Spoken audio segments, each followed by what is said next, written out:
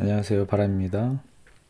네, 어, 이번 시간에는, 어, 지난번에 그 PWM까지 구현을 했었죠. 그래서 PWM을 이용해서 LCD 백라이트 제어하는 것까지 이제 해봤습니다. 그 다음으로는, 어, 이 LCD를 사용하기 위해서는 그 SPI를 통해서 레지스터 세팅을 해줘야 돼요. 그래서 이거는 LCD마다 세팅을 안 해줘도 되는 게 있고 이제 해줘야 되는 게 있습니다. 그래서 제가 사용하는 거는 세팅을 이제 해야 되기 때문에 SPI를 어, 구현해서 요 LCD 세팅하는 거를 추가해야 됩니다. 그래서 여기서는 SPI는 그 CubeMX를 통해서 세팅을 하고 실제적으로 세팅하는 코드는 제가 드라이버 코드로 이미 만들어 놨습니다. 그래서 실제 뭐 그 상세한 내용을 코드를 보시면 뭐 쉽게 이해를 할 수 있고 그러면 어떤 값을 세팅해야 되느냐는 어, 여기서 쓰인 이 드라이버가 있습니다. ST 드라이버 ST7701 예. 그래서 요거를 참조하면 되는데 실질적으로 요 LCD를 판매하는 그 판매자가 어, 레지스터 세팅 값을 보내줍니다. 그래서 어, 특정 레지스터를 어떻게 세팅해라라는 그 데이터를 주기 때문에 그 데이터대로 세팅을 해주면 돼요. 예, 일단 대부분의 세팅을 해야 되는 것들은 판매자가 제공을 이제 해줍니다. 그렇지 않으면은 일일이 하나하나 매뉴얼을 보면서 세팅해야 되기 때문에 좀 어려운 면이 있죠. 예. 자, 그러면 이 SPI가 어느 그 핀에 연결되어 있는지를 확인해야겠죠. 일단 회로도를 보면 이게 LCD 커넥터입니다. LCD 커넥터에 어, SPI 핀에 해당하는 건 3개 핀입니다. 예, chip select, clock, 데이터. 그 여기서는 데이터를 이제 쓰기만 할 거기 때문에 예, clock과 데이터만 있으면 되고요. 그 다음에 LCD 이제 리셋. 예, 리셋을 이제 하면은 처음에 MCU가 부팅할 때 이 LCD를 초기 상태로 이제 만들 수가 있죠. 그래서 이 LCD 핀도 일단 정의를 합니다. 예. 그리고 LCD에 연결되는 이 핀은 어, 칩 셀렉트는 PC13, 그다음에 리셋은 PF6, 클럭은 PF7, 데이터는 PF9 예, 이런 식으로 어, 되어 있습니다. 그리고 이게 SPI의 어, 5번 핀에 연결이 되어 있어요. 예, 그래서 요거를 한번 설정을 해보도록 하겠습니다. 설정하기 위해서 IOC Q, QMX를 일단 오픈을 하고 오픈을 하고 네, 가장 먼저 간단한 어, 리셋 먼저 설정을 해 볼게요. 리셋 피는 어, 리셋이 PF6 PF6 PF6번 네.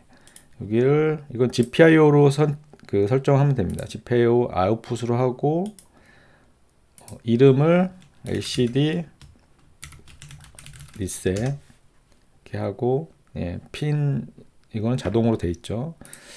그 다음에 디폴트 값을 이제 지정해야겠죠. 예, 디폴트 값을 어, high 왜냐하면 low로 하면 디폴트 리셋이니까 일단 디폴트로는 음, 활성하지 않는 값으로 일단은 하겠습니다. 예. 스피드는 low로 하고요.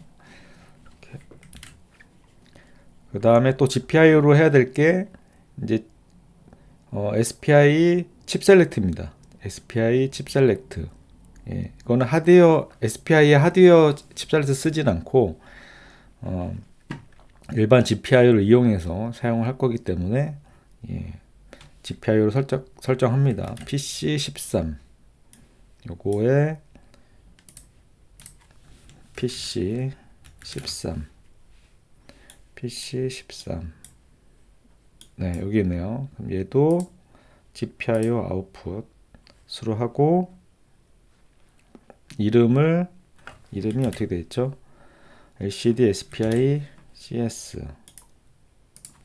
LCD SPI CS 네, 그리고 디폴트는 high. 예, 디폴트는 high로 하도록 하겠습니다. 그렇죠?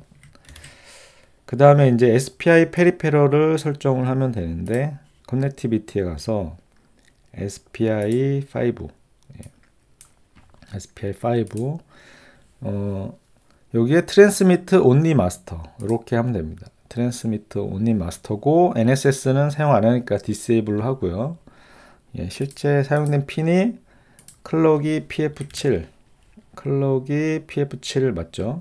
그리고 MOSI가 PF7 PF7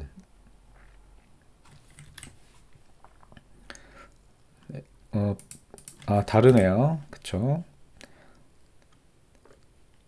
데이터는 PF9 데이터는 PF9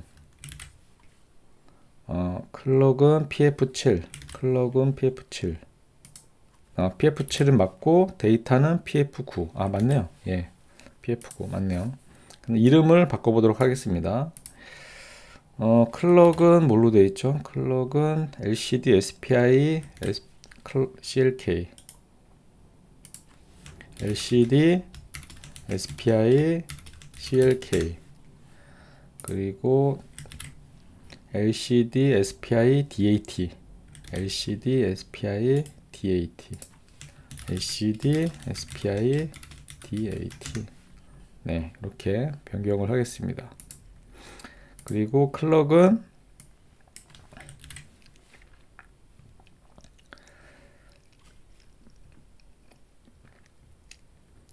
네 클럭은 어, 10메가 bps 밑으로 내릴게요 이게 이제 요 LCD의 데이터 시트를 보면은 아마 maximum이 10메가로 되어 있습니다. 그래서 그거는 LCD 사양에 따라서 다르게 설정을 해주면 되고요. 데이터 사이즈는 9비트로 할 겁니다. 그래서 9비트는 어, 그 LCD의 SPI 모드 중에 3비트 모드를 이제 쓰기 때문에 첫 한 바이트가 command인지 데이터인지를 이제 구분하고 나머지 8비트가 어, 실제 전송되는 데이터입니다. 그래서 9비트로 설정을 하고요. 그리고 얘는 16으로 해서 어, 10메가 미만으로 이렇게 하도록 하겠습니다. 그리고 나머지들은 어, 변경할 필요는 없고요. 다른 항목들은 변경을 안 해도 됩니다. 예. 그리고 여기 최고 속도를 high로 어, 했는데 10메가면 high로 안 해도 될 것 같긴 한데 예, 일단 high로 바꾸도록 하겠습니다. 이를 high 이렇게 high 네 바꿨죠 네, 그 다음에 이 설정은 이제 완료를 했고요 그럼 저장을 하면 코드를 generation 할 거냐 나오죠 예, 코드 generation을 합니다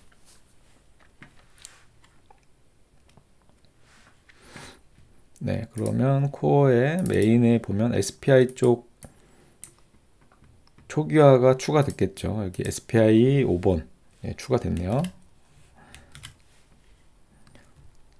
그래서 설정한 그대로 9비트 예, 동일하게 설정이 됐습니다. 자, 이 상태에서 어, 이제 드라이버 코드를 이용해서 실제 LCD 초기화를 진행을 이제 할 거예요. 그래서 드라이버 코드는 제가 이미 작성을 이제 해놨고 제 GitHub에 어, 여기 GFX 브링업 요 저장소에 가보면 펌웨어 여기 SPI 예, 코어에 일단 헤더 파일은 드라이버에 요 ST7701 헤더 예, 요 파일이 있습니다. 그럼 이거를 어, 복사를 해서 카피했죠. 혹은 뭐 이렇게 해서 복사를 해도 되고요.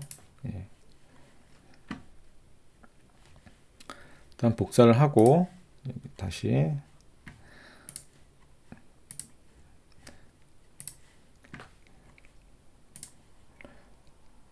네 카피를 한 다음에 자 include의 드라이버 헤더 파일 st7701 점 헤더 그래서 아까 복사한 걸 그대로 붙여놓습니다. 그래서 여기서 함수는 그냥 초기화 해주는 함수 하나만 있습니다. 자, 그럼 이제 C 파일 드라이버를 복사를 할게요. src의 드라이버 st7701 예, 여기를 복사를 이렇게 하고 드라이버 소스 파일 그래서 st7701.c 예, 똑같이 붙여넣기 합니다. 네, 그러니까 여기서는 요 초기화 함수를 호출하게 되면 레지스터를 세팅하게 됩니다. 그래서 레지스터 세팅 요 값들은 제조사에서 제공해 준 값들을 어, 세팅을 이제 한 겁니다. 그럼 여기서 중요한 거는 write command하고 데이터 요 두 개의 함수예요. 그래서 요 두 개의 함수는 두 개의 함수는 어 아까 우리가 설정한 그 SPI 함수 있죠. 요 HAL SPI transmit 이 함수를 이용해서 초기화합니다. 그래서 9비트를 설정했잖아요. 그래서 상위 어, 8번 비트가 이게 command인지 데이터인지를 구분합니다. 예, 그래서 write command일 때는 상위 8번 비트가 0이고 데이터일 때는 1입니다. 예, 그래서 그 뒤에 데이터를 붙여서 전송하게 되고 이 함수를 호출하기 전에 SPI transmit를 호출하기 전에 chip select를 low로 내렸다가 그 다음에 끝나면 이제 high로 올립니다. 예, 그래서 이 두 개의 함수가 중요하다.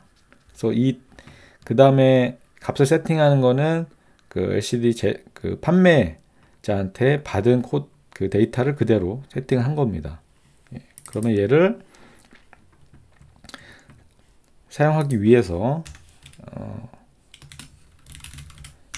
드라이버 헤더를 인클루드 해야겠죠. st7701.헤더 이렇게 하고 SDRAM 초기화 이후에 LCD 초기화를 하도록 하겠습니다. ST7701 init 네, 이렇게 자, build를 한번 해볼게요.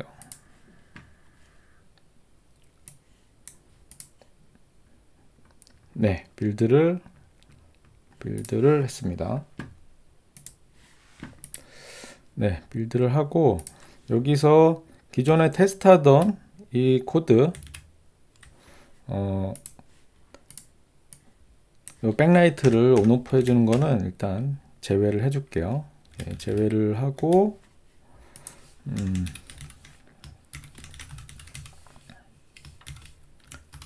일단 LED만 키는 거를 추가하도록 하겠습니다.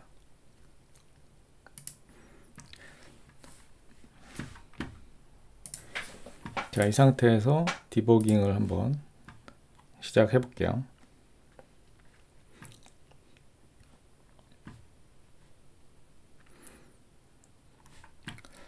자, 여기까지 해서 런을 시켜도 실제 백라이트만 켜지고 어, LCD에는 아무 반응이 있지는 않습니다. 예. 예.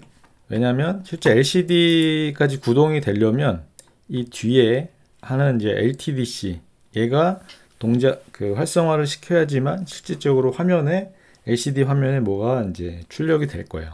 그래서 현재는 그냥 백라이트만 켜지는 게 맞습니다. 그래서 이 LTDC까지 해야지만 어, 실제 출력이 된다. 네, 그래서 오늘은 여기까지 하도록 하겠습니다. 감사합니다.